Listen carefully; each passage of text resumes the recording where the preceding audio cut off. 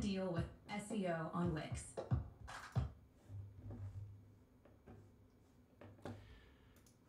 Okay. Bear with me. It's been a long time since I've done this. It's been two years since I've done a YouTube Live, um, which is exciting. And also, uh, you know, I'm sure there's going to be some technical errors. But uh, can everyone hear me? Let's start there. Can you hear my voice? This is the universal mime for voice.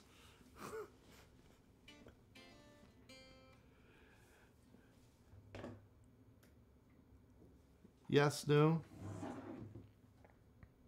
All good. Great. Um, well, welcome. I'm to give it a, you know, a few minutes for folks to pop in here. Um, very lucky to have my good uh, buddy Jeff here helping out, moderating. Um, this is, I was saying to him before, this is like having Gordon Ramsay as your sous chef, you know. so uh, today is a quick, speaking of which, today is a quick little lesson, an amuse bouche of lessons. Tiny little lesson here. But I think one that's kind of fun and uh, and useful. Um, everyone can hear that guitar, I'm assuming.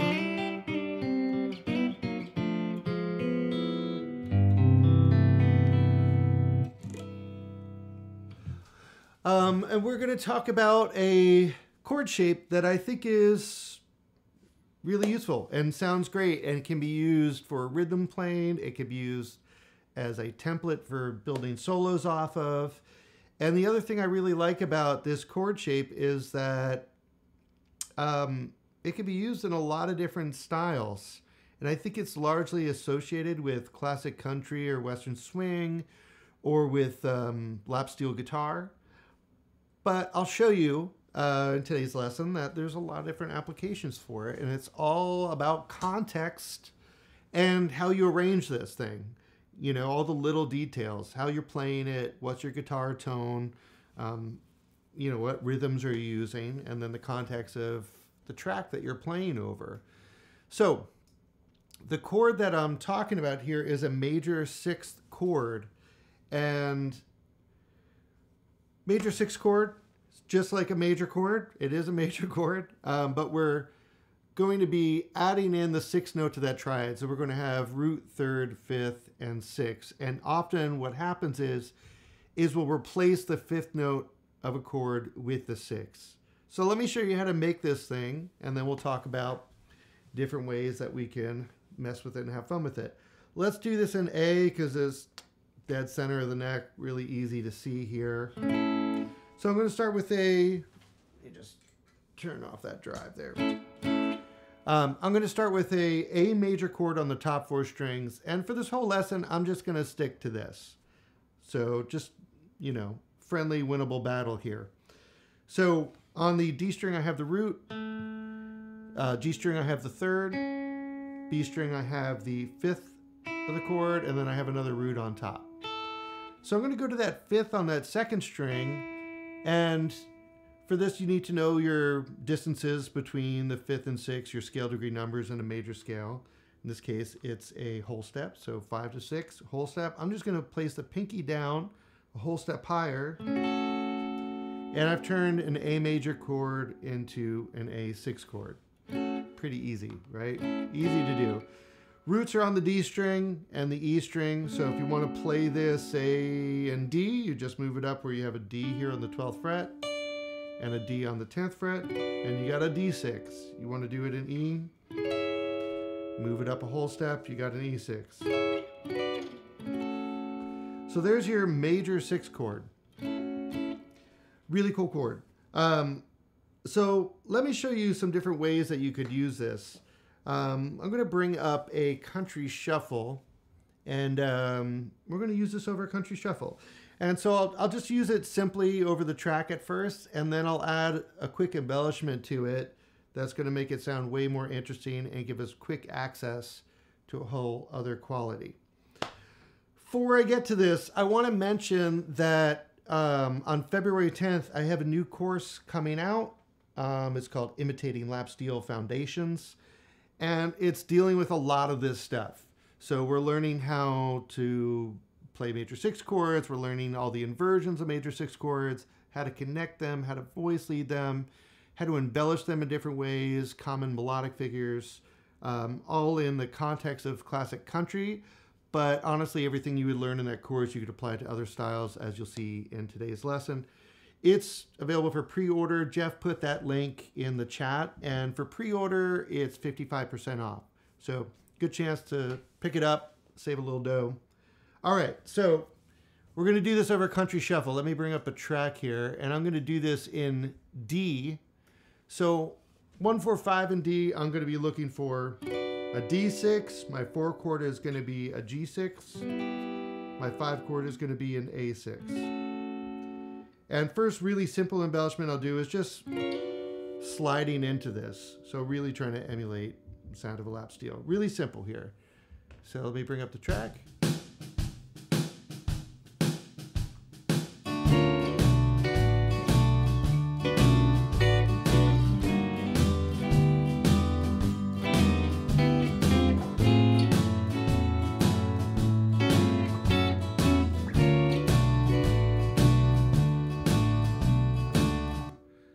That classic country sound right away. That sixth chord, because lap steel is tuned to C6, and we're making a sixth chord, so it's immediately um, kind of informing our ear uh, of like the lap steel sound, classic country sound.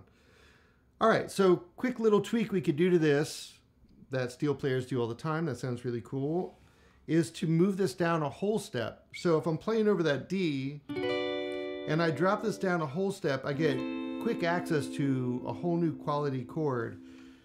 Major six chord, this is going to be a dominant nine chord. So over that D, that same shape, a whole step down gives me a flat nine, eh, oh sorry, a flat seven, a nine, a five, and a flat seven. So I went from a major six to a dominant nine. And I could connect those chromatically, the little chromatic passing chord in there. And I could do that for every one of these chords, for the four chord, for the five chord, back to the one. And I could arrange that wherever I want, right? So I could grab sets of strings, I could arpeggiate it.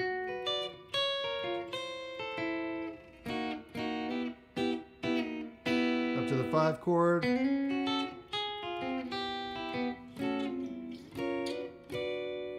So now with that quick little trick, we've immediately made this sound so much cooler and we're still using the same shape. Let me bring up the track again and put it in context. You check it out here.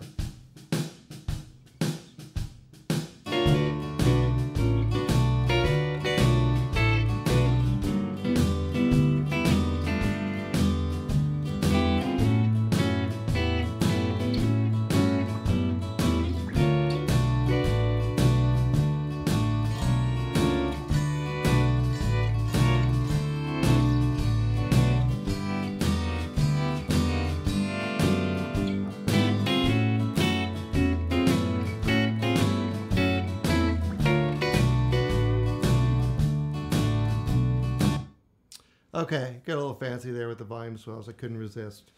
Um, but sounds pretty cool. Co- classic country context, that's going to sound great. You could use that for Western swing. It's going to sound great. Let's look at some other styles that we could use this in. So let's try, um, we'll try this with the blues. So is going to be a blues in C here. So major six chord, good for my one chord. There it is in C. My four chord is going to be F, so there's an F6. Five chord is going to be G, so there's a G6. And for all these shapes, I could drop them down a whole step. Here's an F up an octave, G up an octave, G down an octave, back to C. So let's try this out over a blues this time.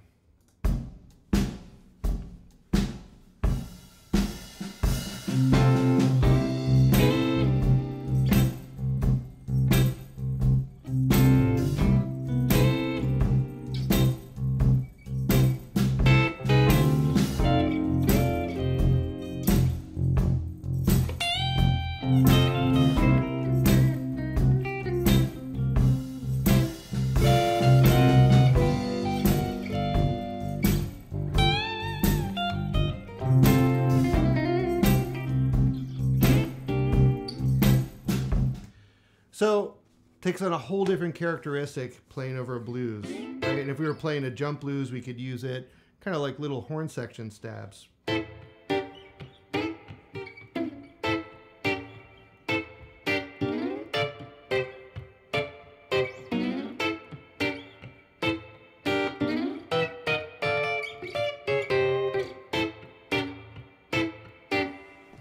All right, let's move on to another context. So, how about rockabilly? Let's do it for rockabilly. So, I'll do this in E, and how I'll arrange it this time is with Travis picking. So, one chord is going to be E. I'll do this all the way up here at the uh, 12th and 14th fret. There's my E's. My four chord is going to be down here for A. Five chords a whole step higher always. And I have a B6. So E6, A6, B6. Same shape the whole time, and I'm going to arrange this by Travis picking.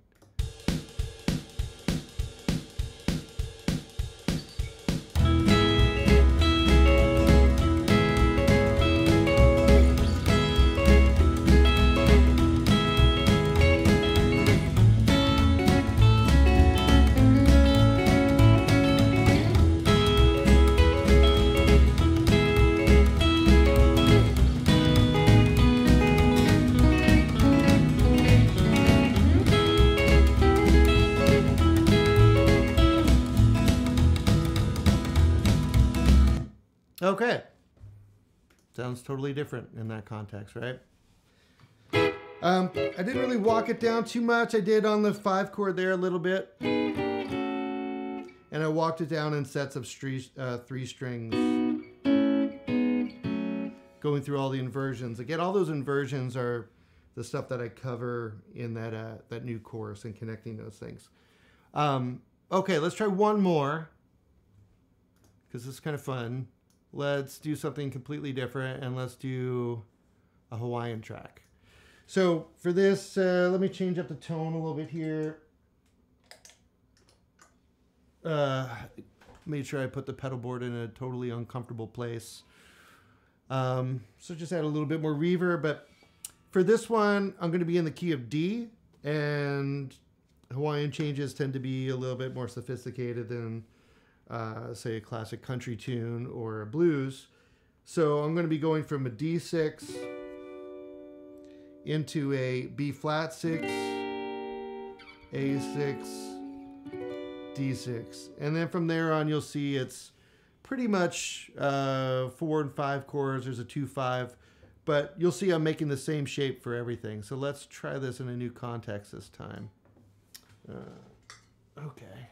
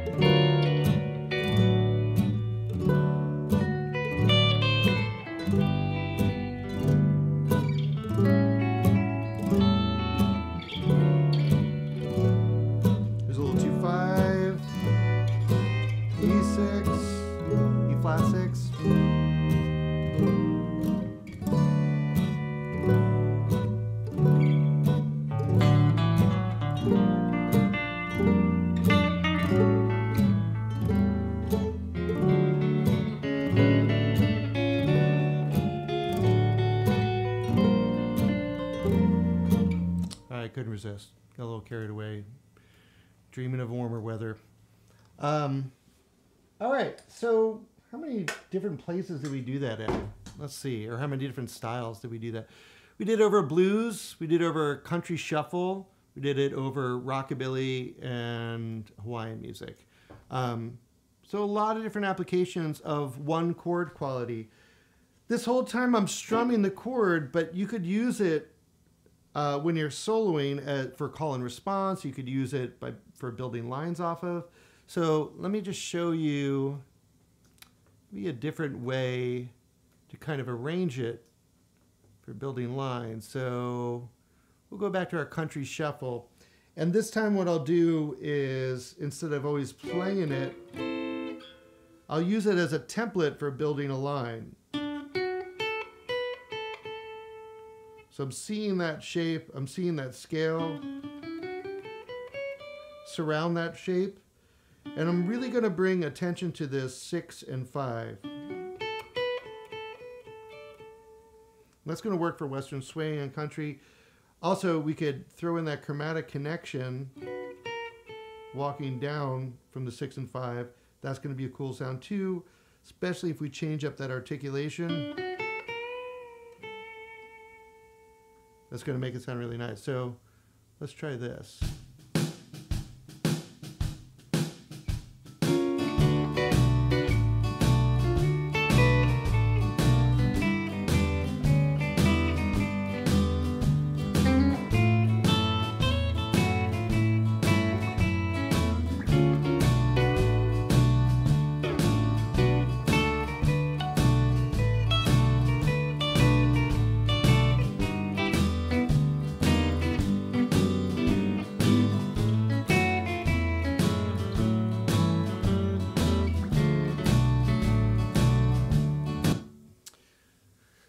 Templates for building lines works for that too.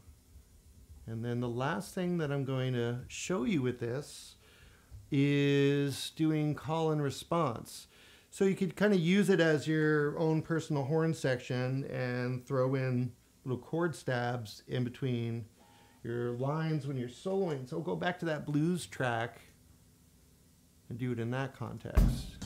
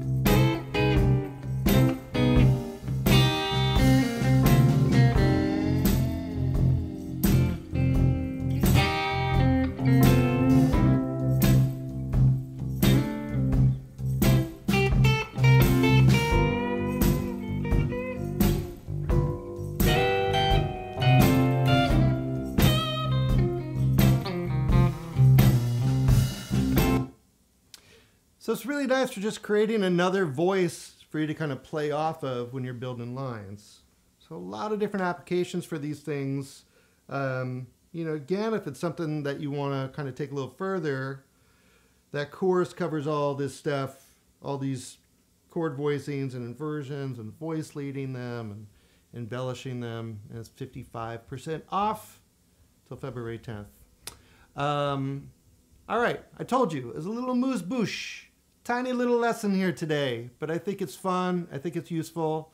And, uh, you know, I want to take an opportunity now to just kind of open it up for questions and say hello. I haven't done this in a long time, so it's nice to be back on here and seeing some folks that I haven't seen in a while. Um, but let me know if you have any questions about what we just talked about. And, you know, I don't care. If you have questions about some other stuff, we could, you know, kind of get into that a little bit too. I'm going to peek at the chat. Great on the curve. It's been a while here. It's been a while since I've done these. Um, let's see here. Let me just say some hellos. Oh, Kelly's here. Hey, Kelly. Tony, how's it going? Good to see you, man. Chris. Nice to see you too, bud. Um, cool. All right. Need more of this stuff. Well, Um, like I said, that course is a good place to grab more. Is is it a satin neck? Uh, no, it's a. I did strip the finish off of the back of this neck, but the uh, it's nitro, um, and I stripped it down just to raw wood because this is my main guitar, and I do play it a ton, and uh, it was uncomfortable for about a year playing. It was just raw wood back here, but what happens over time, you know, the oils and dirt from your hand just kind of get in there, and you end up kind of oiling the uh, not that I have like super oily hands or anything, but you end up like oiling the back of the neck, and now it feels really nice and worn and super smooth. There's no finish on the back, like I said. There is nitro on the front that you could see on the fretboard. It's been wearing down. And you could go back and see some of my old instructional videos where this is like bright white and like there's no wear and tear on the neck. It's not that long ago. Um, can I use a minor six? Yeah, I would use a minor six, but kind of in a different context. And you also can't drop this down down a whole step, so you it, you don't get that quick access to a different quality. But using minor sixes is great. That's a really cool sound to do if I was, say, playing a minor blues.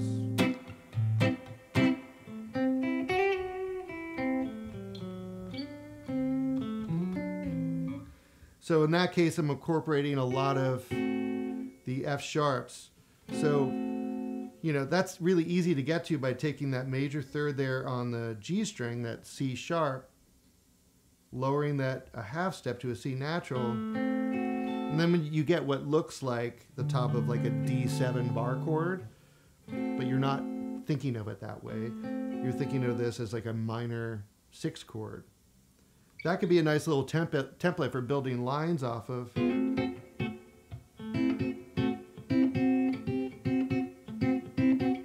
Building rhythmic figures. But um, I don't tend to use the minor sixes in the same way uh, that I would those major sixes. I mean, in the same way that I'm building lines off of them and rhythmic kind of figures off of them, but I'm not moving them around down a whole step or grabbing them in sets of threes a lot? Uh, that's a good question. I know it came from Jeff, of course. Of course, it's a good question. Uh, let's see what else here. Oh yeah, go ahead and hit that like button right here, and you know if you want to support what I do, like I know you've heard it a million times from YouTubers and teachers, and um, but subscribing really does help. So that's a great way to kind of help support the channel and help me build this thing here. Another way is also to go to, um, you know, my instructional website, which is called theinspiredguitarist.com. Um, there's a link to that in here. And, um, you know, if there's anything there that uh, you're interested in, buying courses is a great way to support um, any of your favorite teachers and players. Uh, what scales would I use over a major six chord? Um, would that change? Well, yeah, generally I would use a major scale, but it would uh, definitely change depending on what color I wanted to use. So um, if I wanted to, you know, every scale creates a different tonality, right? So if I'm in major, you could think of that as one kind of color or one tone that I'm uh, painting in or speaking in or playing in. And if I lower that 7 to a dominant 7, now I'm in Mixolydian, that's kind of a different color, a different tonality. Um, so it just depends on context, you know? So if I'm playing in a blues, then that same major 6 chord when we're playing here in C, um, I'm probably not going to go for major 7s, right? Over a blues, but I would reach up and grab a dominant 7. So if I was thinking of a corresponding scale for that six chord, I would be thinking more of a C Mixolydian scale. If we're thinking pentatonics, you know, then you could mix your C major and C minor pentatonic. But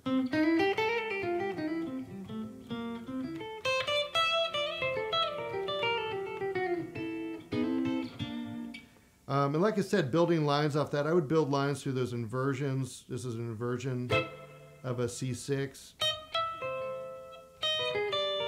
turns it into a dominant nine. So yeah, I'd be accessing the flat seven quite a bit. If I was playing, um, say like Western swing, you know, let me get rid of that overdrive there. Um, in that context, I'm not leaning on dominant sevens because it's just not styles, stylistically right. When you're playing over an A6 chord um, or one chord and say like a Western swing blues, you're um, you're really pulling more attention to like root third, fifth, sixth, major sevens, um, right up into the point that that one chord is ready to move into the four chord. That's when you introduce the dominant sound. You don't hang on a dominant sound like you would in say, you know, a Chicago blues or something. But for something like that, just to set context.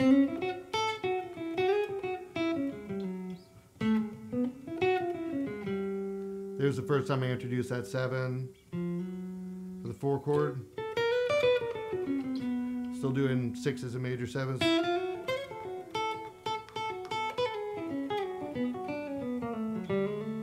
For the five chord, I would do dominant seven and assign a Mixolydian scale because it's a five chord. It's naturally dominant. Um, the Mixolydian scale goes with that. So yeah, it always it always depends on context all the time, and I could go from one to the other like I did in that Western swing. I started with a major scale surrounding that six chord, but when I wanted to go to the four chord, that's when I introduced that Mixolydian scale. Honestly, though, you know, I, I'm always conscious of what scales. Uh, are going to move through a chord shape. Um, but I'm more thinking of how every note relates back to the chord. So I, I kind of don't think of scales or think about moving around through scales as much as I do thinking about what every note means against that chord. Uh, let's see if there's some other questions here. Hope that helps. Uh, man, it was really nice to see everybody out. This is this is cool. Like I said, it's been a while.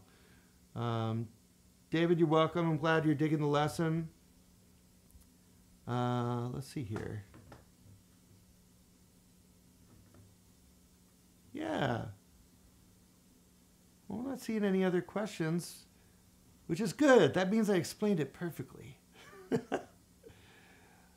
um, cool. Well, if no one has any other questions here, then um, let's keep this, this short, potent little lesson that it is. And, uh, yeah, maybe we'll call it. So I hope you dug it. And like I said, if you want to take next steps with this, um, oh, I got a quick one. I will answer this from Jim about the bebop scale, and then I'm going to wrap it up. Um, how about the bebop scale? I don't think any bebop musician ever plays a bebop scale, thinks about a bebop scale. This is something that like uh, I, I blame on Berklee School of Music or publishers try to sell books. Um, nobody before a lot of modal jazz um, thought or considered scales or played in a way where they were um, thinking of scales and scale patterns. That's just not how improvisation worked. It's just really all of our favorite improvisers from, you know, bebop on back are all thinking more about melodic embellishment, embellishing a melody, um, putting a melody through its paces, in other words, establishing a melody and adding compositional devices to grow that melody, or they're embellishing chord tones and chord shapes. That's what almost all improvisation is, up until you get to the point of like, you know, late 60s, early 70s, you know, um, jazz. And also, it totally corresponds with the, um, the rise of contemporary music schools. Um, so, bebop scale. What is the bebop scale? Uh, let's see if I remember because I don't ever think this way or use this stuff because I, I don't I don't find it a helpful way to approach music at all. Um, but from what I remember, the bebop scale is basically a major scale, but when you get to the sixth, you chromatically walk up from the sixth into the root. If memory serves me correct. I would never think of using that in a consistent way or ripping up and down a scale like that. Never. What I would think of if I was playing over, uh, you know, a C7, I would think of all the chord tones, right? Root, third, fifth, seven. And then I think of all the different ways I could approach them. I could approach them from half step underneath. I could do it from above, right? I can combine those things and do enclosures.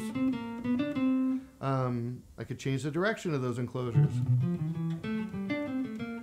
Um, I could chromatically connect any of those notes, like the six and a root. I just go, that's a chromatic connection between a six and a root. I'm not inventing a whole new scale based around a chromatic connection in a major scale or in a uh, Mixolydian scale. Um, I think that makes for busy work, and I think that makes for you know somebody trying to go, hey, I got this new shiny thing to show you. It's going to change your life. It's called the bebop scale. If you learn it, you'll be able to play bebop, and that's just complete BS. So especially with bebop, where bebop is, you know, bebop is a very culturally important music because this was music that was. Uh, African American musicians taking back their music from white musicians um, claiming ownership of their music again. And, you know, at the forefront, obviously, you have Dizzy Gillespie and Charlie Parker leading that charge. But a big aspect of what bebop was was to not focus on the root third, fifth, seven, but to focus all of your lines and improvisation on the extensions of chords. So 7, 9, 11, 13, altering them, connecting them, uh, approaching them from half steps, adding those enclosures, but building a lot of your lines through focusing more on extensions of chords. Um, and that was pretty revolutionary at the time. And it was a hard thing for a lot of like musicians to figure out what was going on. How are these players moving through these changes? Um, so absolutely not scale based. That's why it's even more ridiculous that there's a bebop scale. Okay, with that, Hope I didn't ruffle any feathers, but oof, scales drive me crazy. Here's a here's a, another way to think of scales that will break you of thinking of scales because it is so annoying sometimes. Um, and it's not. I'm not trying to discount like learning scales. Like you should definitely like learn scales. Do you have to learn 200 scales or every little? No. Get the basics, right? Get your major scales. Get your your natural minor, your melodic minor, your harmonic minor. Um, learn the modes of those. Cool. Like, you know, even if you just really know a major scale and the modes of it, you're doing great. But you should be focusing more on arpeggios. So, real quick, what I'll leave you with a different way to think of scales is scales are just an arpeggio with passing notes, right? So, here's a C major scale. This is a point of resolve. Third is a point of resolve. Fifth is a point of resolve. Now the root is a point of resolve. Everything else is a tension. So if I'm soloing and making music from a place of tension release, tension release, then I don't really care what the tension is. That tension could represent a half step, it could represent a scale step, it could represent a noise, it could represent kind of anything. I'm playing with tension and release. So resolve note, tension note, resolve note, tension note, resolve note, tension note, tension note, resolve note, right?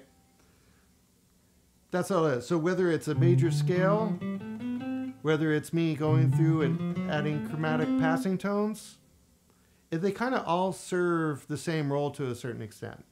Um, I'm a little simplifying a little bit, but I really want people to stop worrying so much about do I know every single scale and focus more on like learning all your arpeggios and your triads and learning how to embellish those things. Way more important. Way more important. All right. Thank you, everyone. This was fun. I'm going to do more. Um, go check out that website, theinspiredguitarist.com. I have lots of live master classes on there. Um, all the old ones that I've done are recorded and they're living up there, so you can go check them out. I'm always doing like one or two a month. So if you don't follow me on social media or on my mailing list, then uh, go do that so you could um, stay or, you know, uh, stay informed when the next masterclass is. Uh, I'm building out this new course. It's been a lot of, or new website. It's been a ton of fun. I'm speaking really quick because I've had like three shots of espresso here. Um, it's been a ton of fun, and uh, but you know it takes time to build these things. So right now, I have some good stuff in there, and I'm adding new stuff every month. Right now, I have uh, a course on Outlaw Country, um, which is a cool course. I have two sets of jam tracks. One that's just like basically all Waylon Jennings jam tracks. Another one that's just a bunch of different country styles of jam tracks. Um, and then I have this new course coming out, Imitating Lap Steel Foundations, which for anyone that you know is into these six chords or playing classic country or western swing or just loves the videos that I put up where I'm you know accessing that sound of lap steel guitar, this is a great way to get started from the basement up. If you don't know anything about it, this starts you at ground zero and gets you to a good point. Um, and that's 55% off to February 10th. All those links in there. Thank you, Jeff McErlain, for helping out today. Uh, Jeff, as you know, I'm sure all you guys know, has his own YouTube channel that's amazing, is always doing lots of lessons and lives and has tons of great courses and also master classes. One of my best buds, fantastic guitar player and great educator. So go follow him. Um, and uh, and thank you all for showing up. So I'll see you soon.